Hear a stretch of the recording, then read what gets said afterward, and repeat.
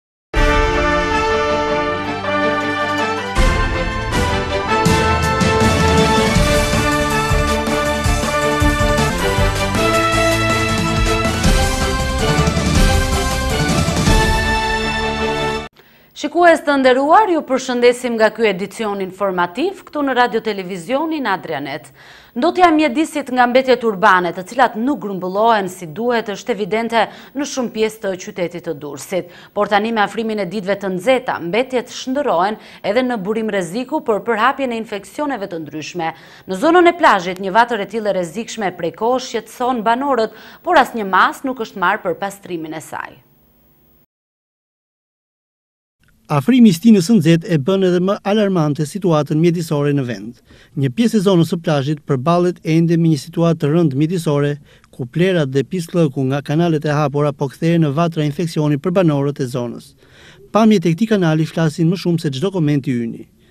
Banorët janë të detyruar të jetojnë mes këtij realiteti ku era e rëndë e këtij kanali kundërmon kudo. Nëpërmjet Adrianet ata shprehin një sërë problematikash me të cilat përballen çdo ditë. Ne kemi disa shqetësime. E para një është ky kanali këtu që shikoni, që është kanali i ujrave të zeza. E tash është akoma nuk ka hyrë vapa, por kur fillon vapa, këto shtohen pisllëqe, minj, miza, mushkonja ça të dush ti. Era shikoj vetë erën, tash nuk bën dot frymë. Pa le në verë, e para.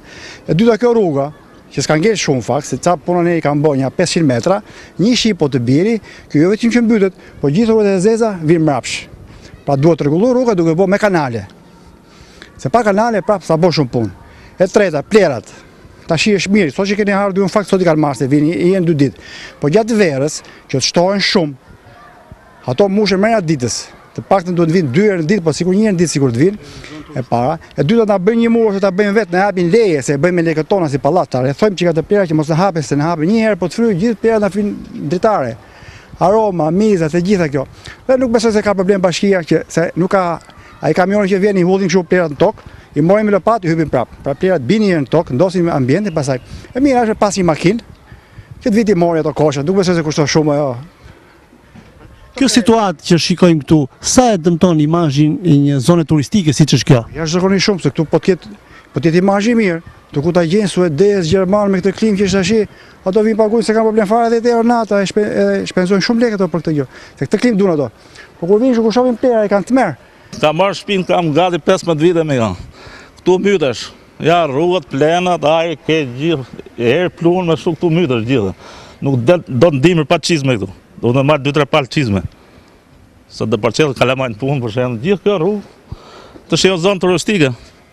Duhet me e shtru këtë, të shikoj dhe qeveria, bashkia gjithë. Ju e keni ngritur zërin për këto shqetësime? Po, po, gjithë kemi shku, ne. Kjo është pallati i parë që është bo ktu, trotuari. Tu sa e bje, është edhe në nivel. Shë me rrugën e një është po, është farë. E mbyt, është me çizme. Ka pasur interesime nga bashkia?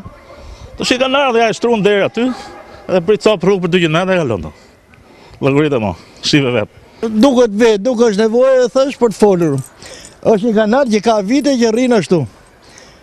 E janë të gjitha mbeturinat ato, asë ujërat e zeza që janë aty. Tashi me rritjen e temperaturave, besoj se situata bëhet më e rëndë. Sepse këtu bëhet miting me mushkonjat. Të kuptohemi, domethënë. Po ne i bëjmë thirrje bashkisë, kush e ka në dorë, të vijnë, të shohin, e të marrin masë për këtë. Këtu një herë pisllëku ma, nuk kalohet, vetë jam smurë, kam i jabë që ka dalë nga spitali, biles nuk mund të rri dot. Ju lutem bashkisë, kush e ka të mbulojë kanalin, të rregullojë urat e ça janë të drejtë. Ky kanali i hapur, sa kohë ka që është në këtë gjendje? Ka shumë. Ka shumë kanali, edhe biles që janë edhe ujëra të zeza këto. Skandaloze është. Të themi tamam të drejtën, skandaloze është domethënë. Nuk, nuk gjen dot rehat domethënë, as te shpia, as dritare s'hapim, as derë s'hapim. E zonë turistike, e zonë turistike. Mbi të gjitha zonë turistike na heq të vjellët. Ban erë këtu. Ban erë domethënë. Ku të vijnë, ku të vijnë domethënë. Sa e dëmton imazhin e një zone turistike kjo situatë? Shumë e dëmton për zotin. Shumë e dëmton. Vijnë turista në këtë zonë? Vijnë po po, shumë pak. Shumë pak vijnë. Për shkak të gjendjes. Për, për shkak të gjendjes, siç e shikoni vetë domethënë. Të mendosh se ky realitet është ulur këmbëkryq në zemër të një zone turistike siç është zona e plazhit, situata bëhet edhe më serioze. Edhe pak ditë na ndajnë nga çelja zyrtare e sezonit turistik, dhe situata duket se ka mbetur në vend numëro, me të njëjtat problematika që u mbyll dhe sezoni i kaluar, duke dëmtuar rëndë imazhin e një qyteti turistik siç është Durrësi. Sportistët e Durrësit me të vërtetë mund të quhen edhe heronjtë e heshtur të kohës sonë. Ata stërviten, përpiqen në çdo mënyrë që të arrijnë rezultate sa më të mira për të nderuar veten e tyre dhe qytetin që përfaqësojnë. Ndërkohë, ajo që ata marrin në këmbim nga pushteti vendor për gjithë mundin që bëjnë është fare pak. Por më e keqja është se edhe atë asistencë minimale që atyre u takon kanë muaj pa e marrë. Në këtë mënyrë Bashkia e Durrësit ka harruar se ky qytet ka edhe sportistë, të cilëve ajo u detyrohet për kujdesjen e nevojshme. Çështja e vlerësimit dhe trajtimit të sportistëve elitarë mbetet ende një prej çështjeve që shqetëson një pjesë të mirë të komunitetit të sportistëve. Jemi ndër vendet e pakta në botë, për të mos thënë të vetmit, që kemi këtë vlerësim për sportistët në përgjithësi dhe sidomos për sportistët elitarë në veçanti. Bashkia dhe klubi Shumësportësh Teuta duhet t'u kushtojë një vëmendje shumë më të madhe sportistëve cilësorë që me rezultatet e arritura nderojnë jo vetëm Durrësin, qytetin të cilin përfaqësojnë, por dhe Shqipërinë në ato evenimente sportive ku marrin pjesë. I tillë është rasti i Adriatik Hoxhës, rekordmen absolut në shtytjen e gjyles, Ish-kampionit të Ballkanit për të rinj në këtë disiplinë në vitin dy mijë e tetë dhe prej shtatë vjetësh radhazi kampion kombëtar në hedhjen e gjyles dhe diskut. Për Adrianet, Adriatik Hoxha shprehet me mjaft rezerva për trajtimin që merr aktualisht nga klubi. Duke qenë se jo për mburrje unë jam i vetmi sportist olimpist nga Durrësi dhe këtu bëhet dallimi, besoj që do të bënte dallim bashkia, por që nuk ka ardh ky dallim, Unë trajtohem pothuajse njësoj me gjithë sportistët, jo pothuajse, po njësoj me gjithë sportistët e tjerë. Qoftë se unë më takon me ligj sporti 500.000 lek në muaj, dietë ushqimore dhe 200.000 lek medikamente mjekësore, unë aktualisht marr 250.000 lek nga bashkia. Gjë që kjo i bie të mos jetë, është, është një, një, shifër, një shifrë qesharake për, për një sportist elitar. Dhe mos të pretendojnë rezultate pastaj dhe të kërkojnë llogari kur nuk sponsorizojnë dhe nuk japin ato që na takojnë. Pa përfshirë këtu mospagesat e 6 mujorshit të fundit që nuk kemi marrë dhe më e forta është se ky 6 mujorsh që nuk është marrë nuk merret më dhe sepse bashkia thotë nuk quhet thotë, sepse nuk ka buxhet, nuk ka fond. Nuk e di, nuk e di buxheti fondi i bashkisë, po qesharake ta mendosh, duke qenë se para 2 vjetësh ka qenë 10% nga bashkia, sot e ka ulur në 1.8% buxhetin e për sportin e Durrësit. Mundësitë për trajtimin e sportistëve cilësorë dhe elitarë ekzistojnë realisht. Mjafton më shumë vullnet dhe dëshirë nga ata të cilët kanë në dorë fatet e sportit.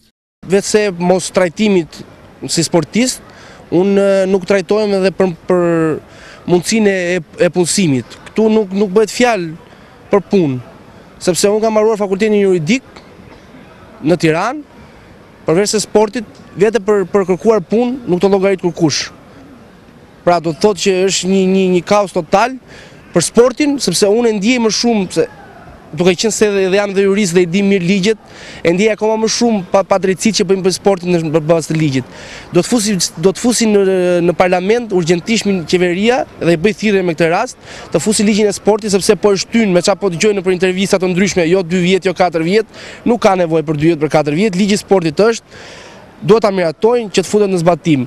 Këtu nuk ka ndonjë ndonjë filozofi të madhe të thonë që do bëjmë me me italian, me gjerman, me grek, me slloven, jo zotërinj. Këtu duhet thjesht, pastër të futet ligji i sportit që të futet dhe dhurimi dhe sponsorizimi nga biznesmenët që dhe ata taksat e tyre t'i kalojnë sportit, jo Shuma të mëdha, po flasim një 5% dhe një 7% siç e ka çdo vend i botës, që edhe unë, si Adriatik, të sponsorizohem. Përveçse të sponsorizohem, të filloj dhe një punë shteti siç e ka italiani, për shembull siç e kanë në polici ose në, në ta zëmë për, për qytetin e Durrësit është marina, dhe të fusin në marinë, kapter i thjeshtë o, se, se nuk e di tani me grada, se m'i përket një fushe tjetër. Por që nuk ekziston as mundësi e punësimit, përveçse Edhe është me çfarë me çfarë kërkojnë këta rezultate dhe të thonë që përse nuk arrin rezultate kur janë gjendja është shumë shumë kritike.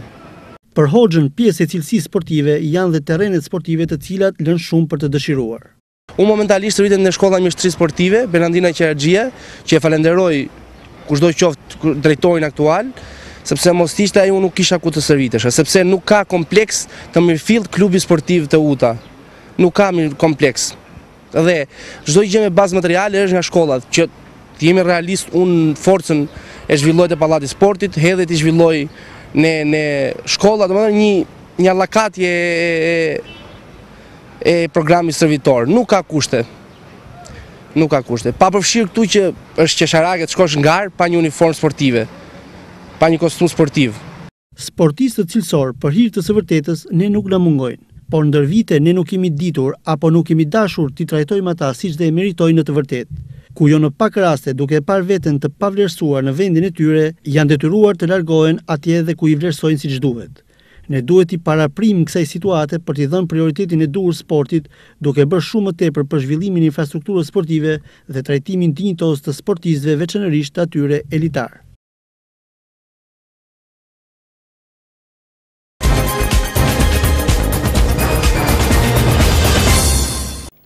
Kandidatja e Partisë Demokratike për bashkinë e Durrësit Grida Duma ka zhvilluar një takim me banorë të zonës së Shkozetit, një prej zonave me mungesa të theksuara në infrastrukturë. Krahas harresës së kësaj zone të qytetit dhe lënies së saj si geto, mjaft prej qytetarëve durrsakë janë ankuar se janë bërë viktimë e keqqeverisjes dhe përbuzjes nga ana e autoriteteve vendore. Kandidatja e Partisë Demokratike për Bashkinë e Durrësit, Grida Duma, vazhdon takimet e përditshme në çdo rrugicë të qytetit, e në veçanti në rrethinat e tij duke u ndalur në zonën industriale të Shkozetit. Ndonëse një zonë me potencial të madh zhvillimi, e cila nga ana urbane është duke u bashkuar me Durrësin dhe zonën e plazhit, banorët vuajnë varfërinë deri në kushte ekstreme, mungesën e punësimit dhe të perspektivës, mungesën e rrugëve, të ujit të pijshëm e çdo shërbimi tjetër të nevojshëm nga bashkia, duke jetuar si qytetarë të dorës së dytë. Krahas harresës dhe lënies së kësaj zone të qytetit si geto, mjaft prej qytetarëve durrsakë janë viktimë e keqqeverisjes dhe përbuzjes nga ana e autoriteteve bashkiake. Jam një banor i lagjes katërmbëdhjetë, kam punuar te Ujësjellci prej tetë vitesh. Kam punuar me ndërgjegjen më të madhe. Nuk kam pa majtas edhe djathtas, po kam punu me drejtësi. Brenda njëzet e katër orëve më kanë heq nga puna, Dhe më ka thonë, ti je ai zotëria që ke votu djathtas? Po thashë, zoti drejtor, të lutem, mos shiko djathtas edhe, edhe majtas, shiko, shiko atë që bën punën, unë bëj punën. Zotni tha, zotni tha, ti do hiqesh nga puna tha për dy ditë. Që përlotet një burrë në këto ditë,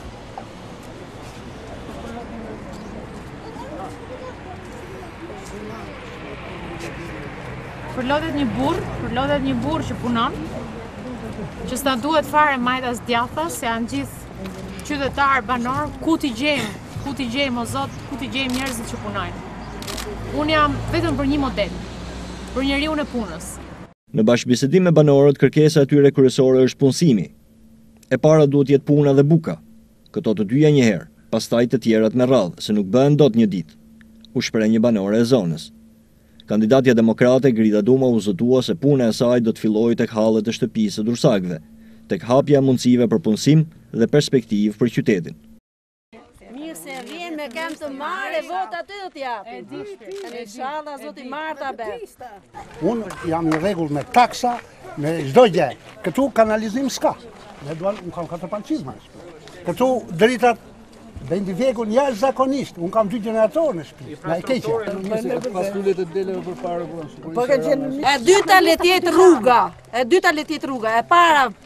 Puna, buka jo, një. Edhe rruga edhe puna, se ajo puna, ajo rruga puna. Këto të dyja, pastaj vinë të tjerat me radhë, se nuk të bëjnë gjitha për një. Ja kanë arka sëtë, ka lavi u më zotë. Atë po thotë zotëria, se puna është e para, është e vërtetë. Të ti mesoj e një tjetër. Se keni nevojë po.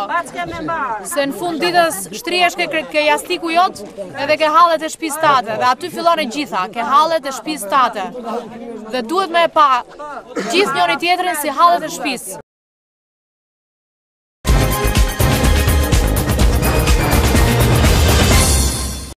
Në formën se si është duke u zhvilluar qyteti i Durrësit është duke e humbur marrëdhënien e vet me njerëzit e tij. Kjo sepse nuk ka më asgjë për të cilën njerëzit të kenë dëshirë të jetojnë në këtë qytet. Fëmijët janë një pjesë shumë e rëndësishme e banorëve të Durrësit dhe hapësirat për ta mungojnë plotësisht. Në zonën e plazhit, e cila është edhe zonë turistike, parqet e lojrave nuk ekzistojnë më, duke bërë që fëmijët të mbeten të rrezikuar në rrugë. Mungesa e parqeve po rrezikon çdo ditë fëmijët e lagjes numër trembëdhjetë në Durrës. Mos ekzistenca e një ambienti ku këta fëmijë të luajnë dhe të kalojnë kohën e lirë, po i detyron këta të fundit të qëndrojnë mes gurave dhe pluhurit. Vetë fëmijët, shprehen se shpesh janë vrarë në këto vende dhe papastërtitë që gjenden në to janë kthyer në problem shëndetësor. Kemi ambiente ku të luani? Jo. Neve këtu s'kemi ku të luajmë, rrëzohemi mes gurave. Edhe një vajzë, edhe një vajzë, ra në një gur edhe po, i ra në zemër. Edhe ajo i hypën disa veta sipër, i hypën disa veta sipër edhe nuk merrte frymë dot, derisa shkoi në shpi. Keni ambiente ku të luani ju? Jo, nuk kemi fare. Ja siç e shikoni rruga është bërë cop-cop. Tu s'ka as park lojrash ku ne të luajmë as në det. Ku luani ju këtu, mes pluhurit, mes gurave? Mes pluhurit, mes gurave, ku të dush. Ku nuk luajmë. Ke ambiente ku të luash ti? Jo, s'kemi. Ku luani ju? Aty ke kodra është pis, kemi afër shpisë edhe shumë pis dhe s'kemi ku të luajmë.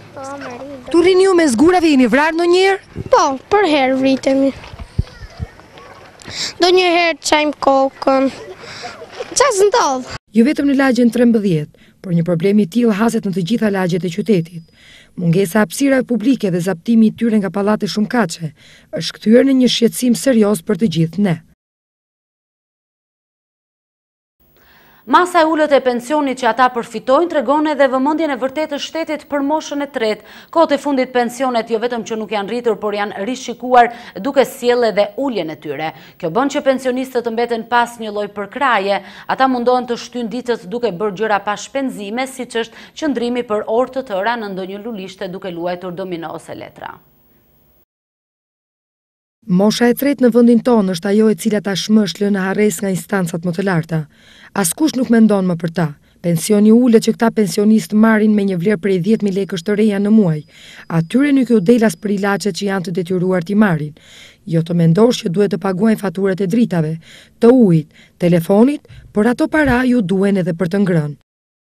A e përballoni dot jetesën me pensionin që merrni? Jo, nuk e përballojmë asnjëherë jo. Me këtë me këtë pension që po marrim, asnjëherë. Ose pyet babën e tij si ka atë. S'ka rrugë tjetër. Pa ashtu bëjnë mirë, pas ashtu prap bëjnë mirë, se e din vetë ato. Sa pension merrni ju në muaj? 100.000. 100.000. Dhjetë mij. Njëqind mij. Çfarë bëni me këto para? Ku i çoni për para? Po për para të dëhone në... Para të... Si, ku i çoni për para? Ku t'i çoni për para, e? Dali që... Paguajmë dritat, paguajmë ujtë, ça ngelet, pastaj... Hamë, ça ngelet, bukë. Pensioni nuk është as njëqind mijë lekë, tetëdhjetë mijë, njëqind e pesëdhjetë, njëqind e pesëdhjetë lekë pensioni, është njëqind e pesëdhjetë mijë, por qeveria nuk e shqit, nuk e rrit pensionin. Qeveria këtu e rrit qeveria. U jo, jo, u jep pensione ata që kanë 350 mijë, u rrit e 200 mijë lekë, 200 pëzjet, në razi. Sa para merrni ju në muaj? Unë të marr, të drejtën, të them se jam punë shteti, 122.000, gruaja merr 90.000.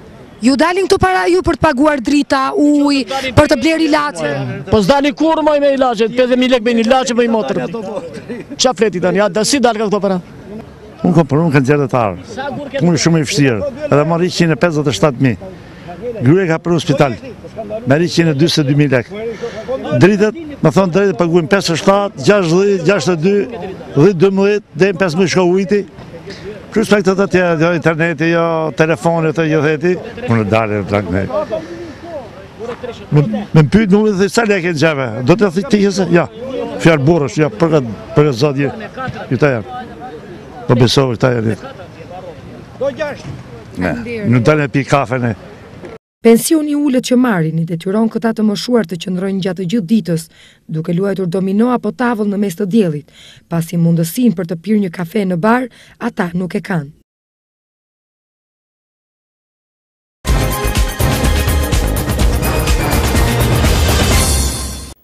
Kryetari i Partisë Demokratike Lulzim Basha në turin e tij elektoral të radhës është ndalur në qytetin e Kukësit, ku edhe ka prezantuar kandidatin Bashkim Shehu.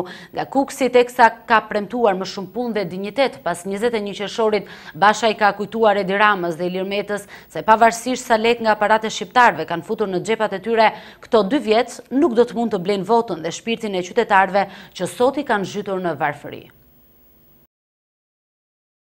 Kryetari i Partisë Demokratike, Lulzim Basha, ka prezantuar kandidatin për kryetar të Bashkisë së Kukësit, Bashkim Shehu. Basha është ndalur tek situata e rëndë ekonomike që ka pllakosur vendin, ku mijëra familje kanë marrë rrugën e emigrimit, pasi e kanë të pamundur që të sigurojnë mbijetesën. Ndonëse entuziazmi i bashkimit ka vërshuar sot këtë qytet. Unë e di. Unë e di. Se ajo që i ka mbledhur shqiptarët më shumë se kurrë, më të fortë se kurrë rreth e qark ofertës tonë, është dëshpërimi i madh.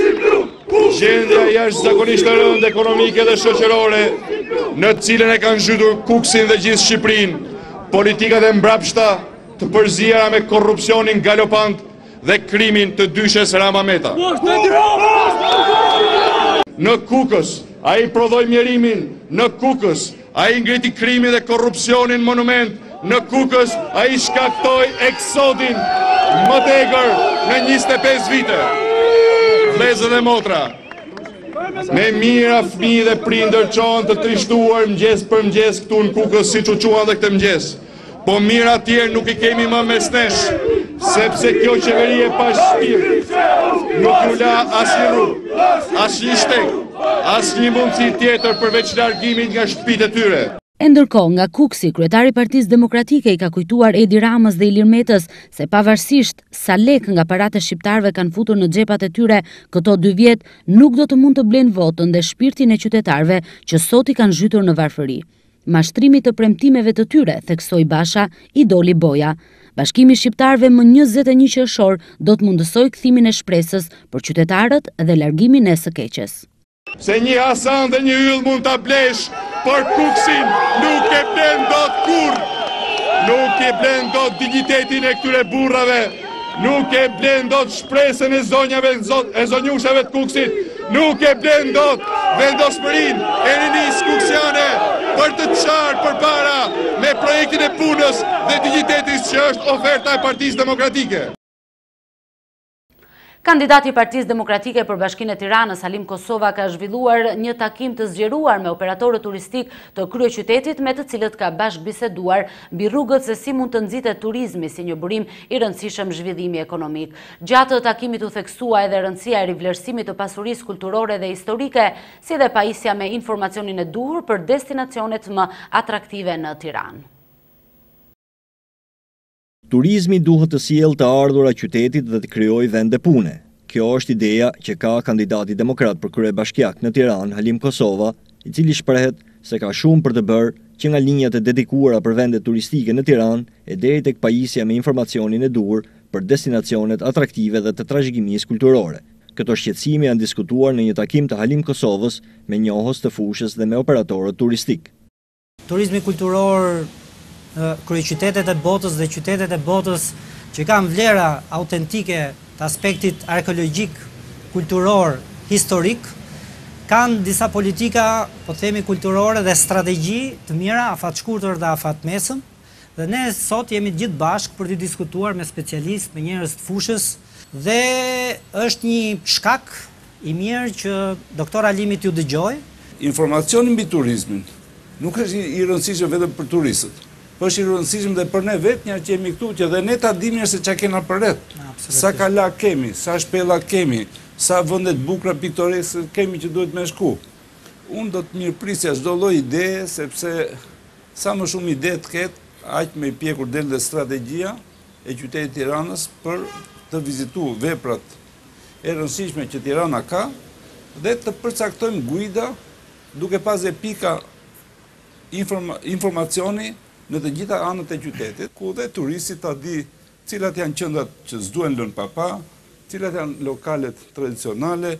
Kandidati demokrat për kryebashkiak u ndal edhe tek rëndësia e informacionit, si edhe tek domosdoshmëria për të punuar së bashku, për ide dhe projekte konkrete për të rritur numrin e vizitorëve. Tirana ka një mbret dhe ai është Mali i Dajtit, të cilin do ta respektojmë gjithë. Çfarë do të bëni ju në të ardhmen për masivizimin e sporteve që kanë lidhje me natyrën? Ju si alpinist që e njifni mirë dhe Dajtin, pa diskutim më shumë se gjithë ne këtu që jemi, të propozoni një xhiro edhe do të jetë shumë tërheqëse për shumë për shumë njerëz. Industria turistike është një nga industritë kryesore që siguron punësimin, sepse sa më shumë që rritet teknologjia, aq më tepër punonjës duhen. Ndërkohë që ndodh e kundërta me industritë e tjera. Është e rëndësishme që të ndërmerren masa, domethënë të planifikohen masa që janë stimuluese për turizmin. Numër njëshi do ishte çfarë kemi gati, ato që kemi gati t'ia afrojmë njëherë turistëve.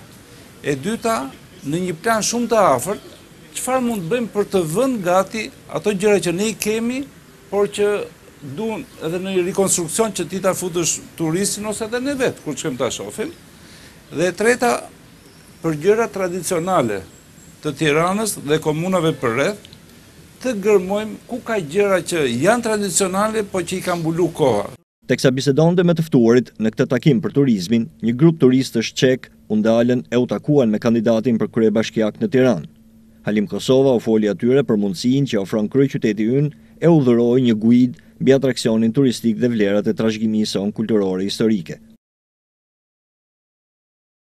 Ndërkohë takimin e radhës, kandidati demokrat për Tiranën, Halim Kosova e ka zhvilluar me tregtarë të ndryshëm dhe fermerë të zonës së Kasharit. Në qendër të bisedave të zhvilluara ishin ankesat e tregtarëve për taksat e larta dhe rënien drastike të fuqisë blerëse. Kandidati i Partisë Demokratike u ka premtuar tregtarëve një barrë sa më të lehtë fiskale, gjë që do të nxisë zgjerimin e biznesit dhe hapjen e vendeve të reja të punës.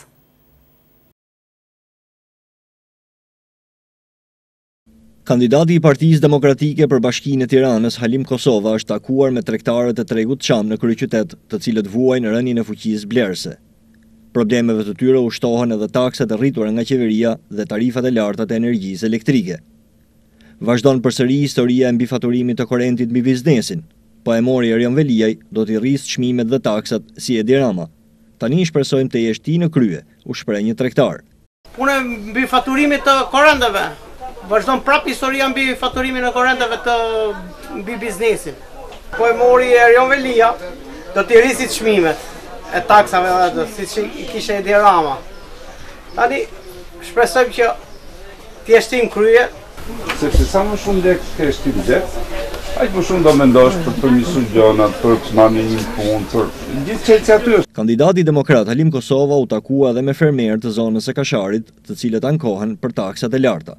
Taksa është aq e aq shifër e madhe që për një një prodhus nuk ka nga ato prodhus që nuk mund të arrijnë dot me e pagujt taksën e madhe.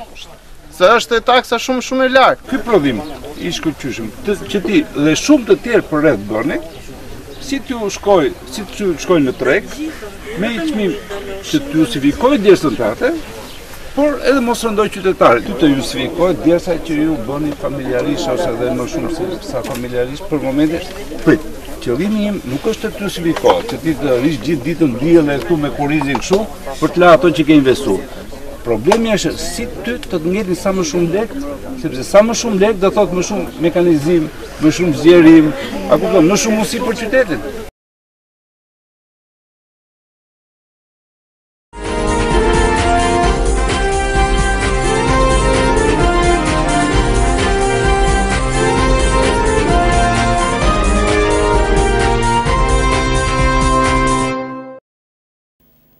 Do t'ju njojmë tashmë me informacione nga rrethe të ndryshme të vendit. Dy vitet e fundit, Bashkia e Lezhës ka ndërmarrë disa investime të rëndësishme për të përmirësuar infrastrukturën urbane të qytetit, por ato janë përqendruar kryesisht në qendër dhe nuk kanë dhënë ndonjë ndikim të madh në cilësinë e jetës së banorëve. Në një kohë që qendra e qytetit është rehabilituar plotësisht, lagjet periferike të tij janë harruar duke lënë banorët që të shpresojnë se edhe radha e tyre do të vijë një ditë. Në Lezhë janë në zbatim një sërë investimesh të cilat do të ndryshojnë totalisht pamjen e qytetit. Investimet e para janë drejt përfundimit, siç është sheshi administrativ, ndërsa po punohet edhe për pjesët e tjera të këtij projekti, si dhe ka nisur puna intensive për ujësjellësin. E megjithatë ende në shumë lagje të qytetit të Lezhës mungon infrastruktura e duhur, që t'i bashkohet imazhit që po ndërtohet për Lezhën. Në një situatë të tillë ndodhet edhe lagjja e ish-të persekutuarve, ku mungon infrastruktura, përgjatë saj janë krijuar gropa të shumta duke vështirësuar jetesën e banorëve.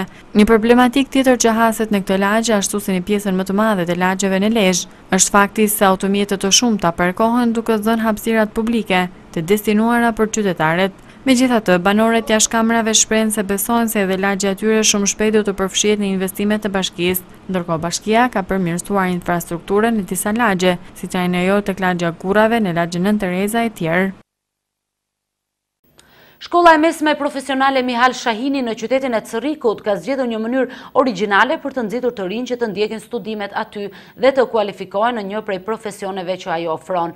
Nxënësit e arsimit nëntëvjeçar janë ftuar për të parë nga afër se si studiohet në Shkollën e Mesme Profesionale Mihal Shahini, cilat janë kualifikimet që mund të përfitohen aty dhe rëndësinë që ka arsimi profesional gjatë përballjes me kërkesat e tregut të punës. Shkolla e mesme profesionale në Cërrik, Mihal Shahini hapi dyert për nxënësit e klasave të nënta të zonës. Aktiviteti kishte për qëllim njohjen e nxënësve në përfundim të arsimit bazë me programet që ofron kjo shkollë dhe ndërthurjen e pjesës teorike me atë praktike. Në këtë kuadër, grupe të caktuara nxënësish demonstruan procese konkrete pune në bazë të të mësuarit më parë nga ana teorike. Sakaq demonstrimet ngjallën interesin e të rinjve, që vizituan shkollën dhe ambientet e saj. Stafi drejtues i shkollës i bëri thirrje të rinjve që të orientohen drejt arsimit profesional, duke iu përgjigjur kështu edhe interesit të tregut të punës. Drejtoresha e shkollës Zamira Bizhuta, tha se është mjaft e rëndësishme që të dimë të bëjmë zgjedhjen e duhur në momentin e duhur. Zonja Bizhuta i bëri thirrje nxënësve ta shohin arsimin profesional, si zgjidhjen e duhur për ta. Ne sot organizojmë ditën e hapur në shkollën profesionale Mihal Shahini për t'ju treguar ju mysafirëve që çfarë mësojnë nxënësit tonë, çfarë dinë të bëjnë. si është e integruar pjesa e arsimit profesional me praktikat profesionale, e teorisë me praktikat profesionale, sa ata janë të aftë në fitimin e kompetencave profesionale për profesionin që kanë. Shkolla Profesionale Mihal Shahini në Cërrik ka në përbërjen e saj tre degë studimi, mekanikë, bujqësi dhe veterinari. Në qytetin e Elbasanit ka nisur rikonstruksioni i një pjese të banesave të komunitetit Rom. Ky komunitet është kryesisht i përqendruar në lagjen 5 të Elbasanit dhe jeton në kushte vërtetë të mjerueshme. Megjithatë projekti prek vetëm 30 banesa, ndërkohë që komuniteti Rom atje numëron mbi 300 shtëpi. Nga ana tjetër, ende nuk është parashikuar asnjë ndërhyrje në sistemin e kanalizimeve të ujërave të zeza. Në lagjen 5 Maj pushteti lokal ka marrë përsipër t'i vijë në ndihmë komunitetit rom, duke restauruar 30 shtëpi, ku 5 banesa 40 metra katrorësh do të rindërtohen nga e para. Fadil Balla, përgjegjësi i zbatimit të punimeve, bën të ditura detajet e projektit. Sipas tij, banesat që do të restaurohen kanë probleme serioze e për këtë nevojitet një punë e madhe për t'u bërë. Duke nisur nga restaurimi i çative, shtrimi i dyshemesë dhe vendosja e dyerve dhe e dritareve, sakaq komuniteti rom njihet tashmë për situatën delikate ekonomike dhe sociale në të cilën gjendet. Tek komuniteti rom janë rreth janë rreth tridhjetë, tridhjetë e pesë banesa. Kryesisht përqendrimi i këtyre banesave është bërë në çati, në riparim suvatimesh, rikonstruksione të brendshme me banjo, me shtresa pllakash, Me fjalë sipas sipas preventivave me fjalë që janë caktuar nga ana e bashkisë me fjalë edhe po vazhdohet me intensitet plot. Janë nja pesë ndërtesa, janë të reja nga themelet që ngrihen nga themelet. Edhe po ecet me me intensitet plot, me fjalë që sa më shpejt me fjalë Që edhe aty të mbyllen këta punime. Kryefamiljarët përfitues shprehen të kënaqur me investimin që kanë përfituar, ndërsa banesat që janë marrë përsipër të restaurohen nga firma e ndërtimit janë në gjendje tepër të mjerueshme. Në lagjen pesë Maj janë treqind e pesëdhjetë familje që banojnë në shtëpi improvizuese, por vetëm tridhjetë e pesë prej tyre janë marrë përsipër të restaurohen. Një problem shqetësues për këtë zonë, mbetet mosfunksionimi i kanalizimit të ujërave të zeza.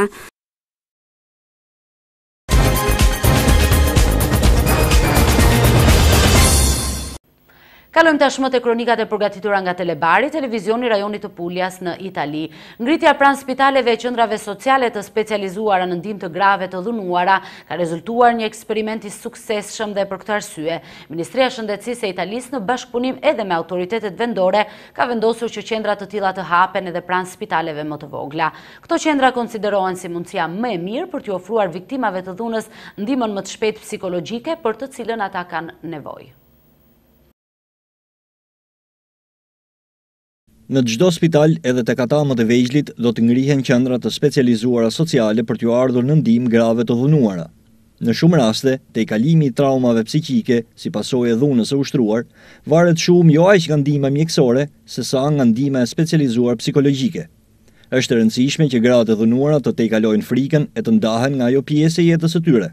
Kjo mund të ndodhë vetëm nën drejtimin e një personi të kualifikuar, i cili jep ndihmën e vet në momentin më të parë të kontaktit me një viktimë të dhunës në familje në vendin e punës apo diku tjetër. Ky ka qenë një projekt pilot i Ministrisë italiane të Shëndetësisë, projekt i cili ngriti qendra të tilla sociale në disa prej spitaleve më të mëdha italiane. Projekti rezultoi i suksesshëm dhe tashmë në bashkëpunim me autoritetet lokale, qendra të tilla do të ngrihen në çdo spital të vendit. Pjesë e këtij projekti ishte edhe prezantimi pranë Bashkisë së Barit i planit të punës për hapjen e disa qendrave të tilla në qendrat spitalore të rajonit. Financimi i tyre do të bëhet bashkarisht, përmes buxhetit të qeverisë dhe buxheteve lokale, por përfitimi që ato do të sjellin është i jashtëzakonshëm për gjithë shoqërinë.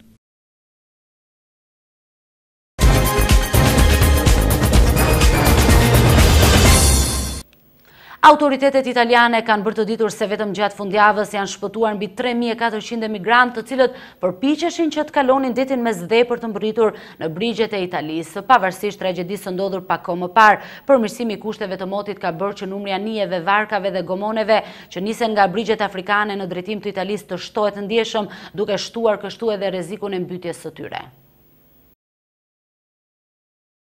Nuk kanë të ndalur emigrantët që përpiqen të kalojnë Mesdheun.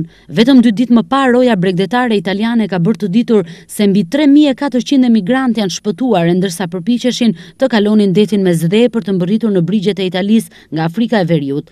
Sipas tij, kjo mund të ishte një tjetër katastrofë si ajo e dy javëve më parë ku mbi tetëqind vetë humbën jetën.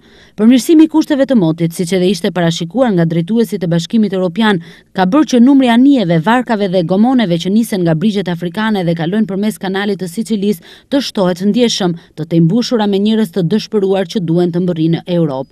Sipas autoriteteve italiane, një pjesë e mirë e tyre janë dërguar në ishullin e Lampeduzës, ku është edhe pika e parë kufitare e Bashkimit Europian. Liderët e Unionit ranë dakord që të trefishojnë fondet e operacioneve të shpëtimit, Por deri tani, gjithçka vazhdon të kryhet nga autoritetet italiane, të cilat shpesh janë ankuar për mungesën e burimeve financiare dhe njerëzore për të përballuar gjendjen dhe shmangien e katastrofave. E ndërkohë, Parlamenti Europian ka diskutuar një javë më parë për krizën e klandestinëve pas tragjedisë në Mesdhe.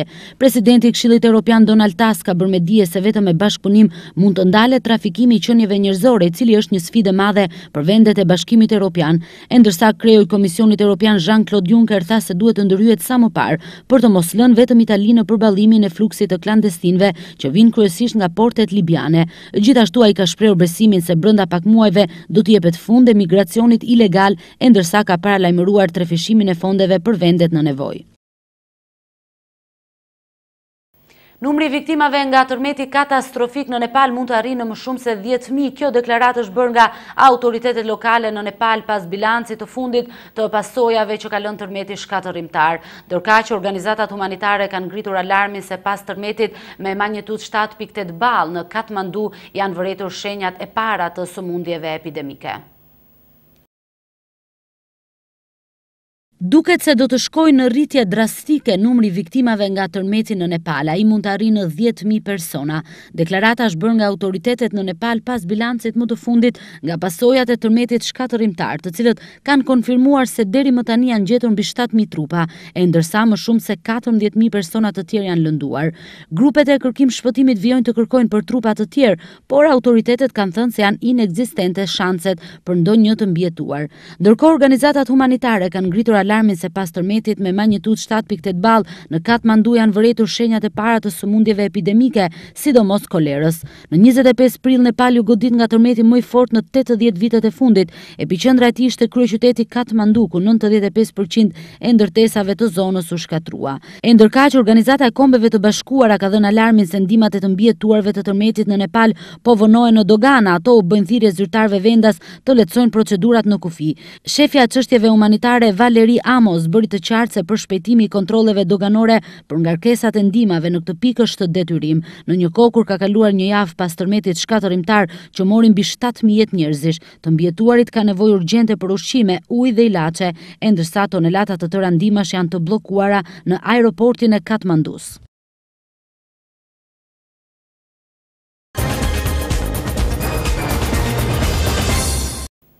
Futbollistët 16-vjeçarë të përfaqësueses sonë kombëtare bashkë me ekipet përfaqësuese të Armenisë, Malit të Zi dhe Qipros janë bërë pjesë e një turneu miqësor ndërkombëtar, i cili startoi në 2 maj dhe mbyllet më datën 5 maj. Deri më tani pas të dy ndeshjeve, Shqipëria renditet e para pas pikëve të plota që ka marrë ndaj Malit të Zi dhe Armenisë.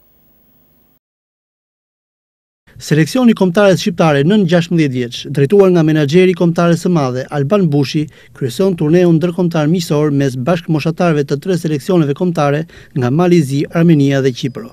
Shqipëria e ka nisur këtë turne me dy fitore në po kaq ndeshje të luajtura, teksa ka mundur tre me një skuadrën malazeze në ndeshjen e parë dhe një me zero skuadrën armene në ndeshjen e dytë.